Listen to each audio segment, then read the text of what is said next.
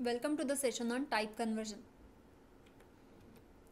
At the end of this session, student will be able to write C++ program with type conversion.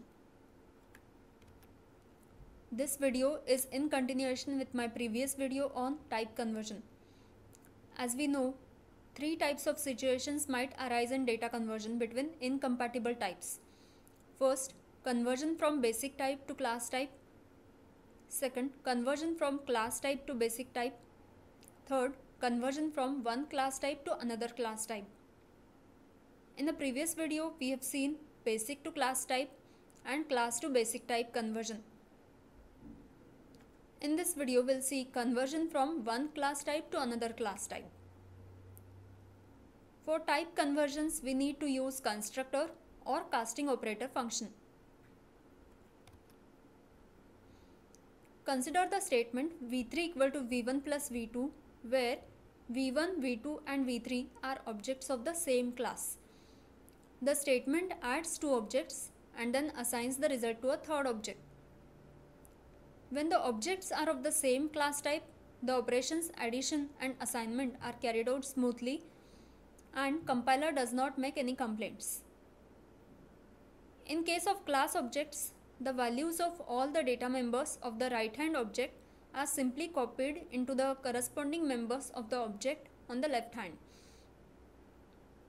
But what if the objects belong to two different classes? Consider two classes time and minute. Time class represents time in hours and minutes. Minute class represents time in minutes. T is an object of time class and M is an object of minute class. What happens if our program contains statements like T equal to M or M equal to T? The compiler does not support automatic type conversions for user defined data types. We must therefore design the conversion routines by ourselves if such operations are required. Let's see one more example. Object x equal to object y. Object x is an object of class x. Object y is an object of class y. These are objects of different types. The class y type data is converted to class x type data and the converted value is assigned to object x. Since the conversion takes place from class y to class x, y is known as source class and x is known as the destination class.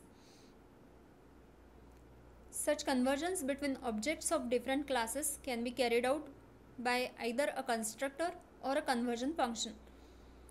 Then, how do we decide which form to use? It depends upon where we want the conversion function to be located in the source class or in the destination class. Let's see conversion from one class type to another class type. To perform the conversion from one class to another class type, a constructor should be used in the destination class. The syntax is shown here. A single argument constructor function serves as an instruction for converting the argument's type to the class type of which it is a member. This implies that the argument belongs to the source class and it is passed to the destination class for conversion. This makes it necessary that the conversion constructor be placed in the destination class. Let's see an example of conversion from one class to another class. For conversion, we have defined constructor in destination class. Here we have two classes, class time and class minute. Time represents time in hours and minutes.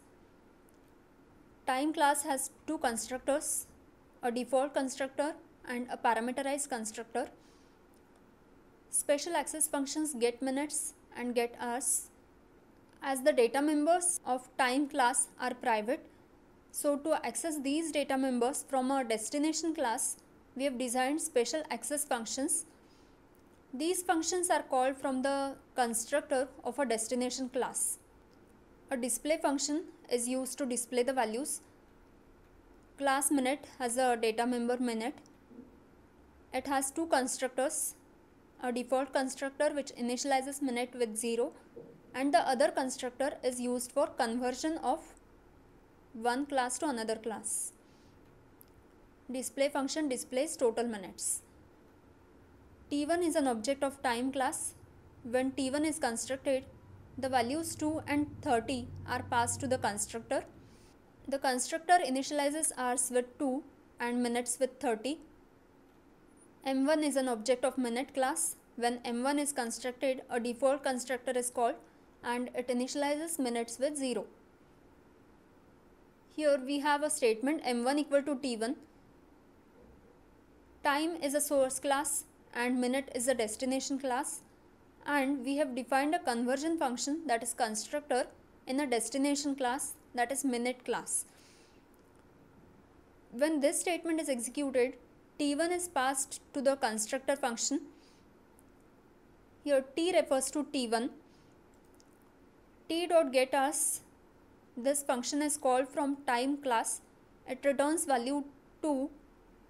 Get minutes function is called from time class it returns value 30 so 2 into 60 plus 30 the value is 150 that is assigned to minutes.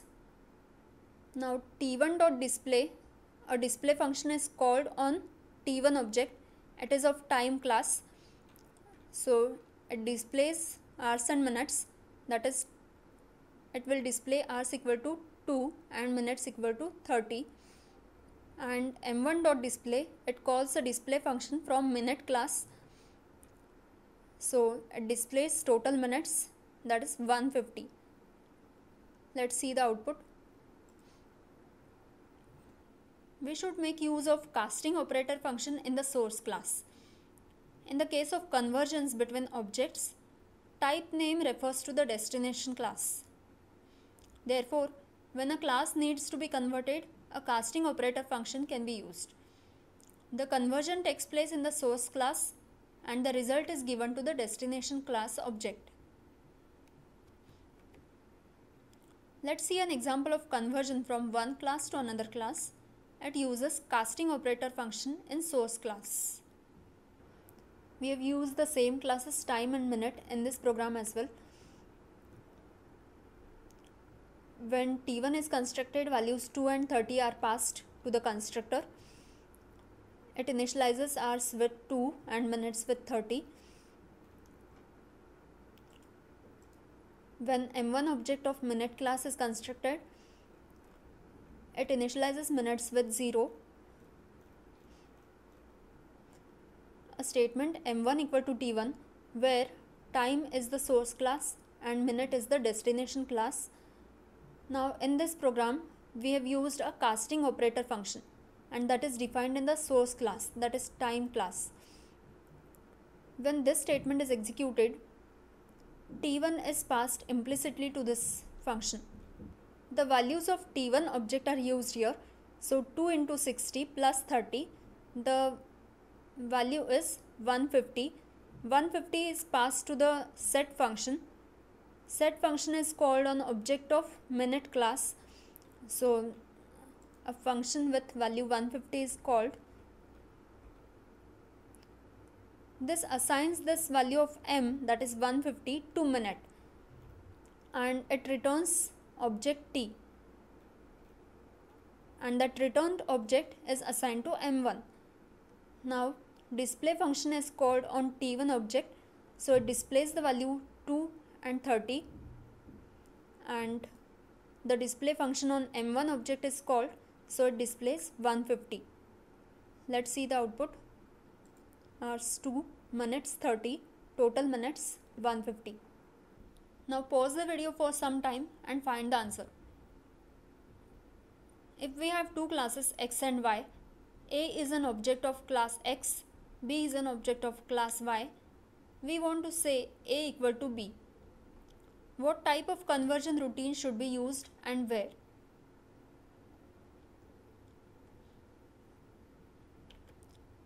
The answer is with statement A equal to B, class X is destination and class Y is source.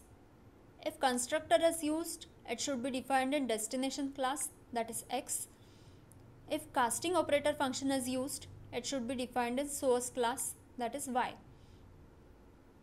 This table provides a summary of all the three conversions.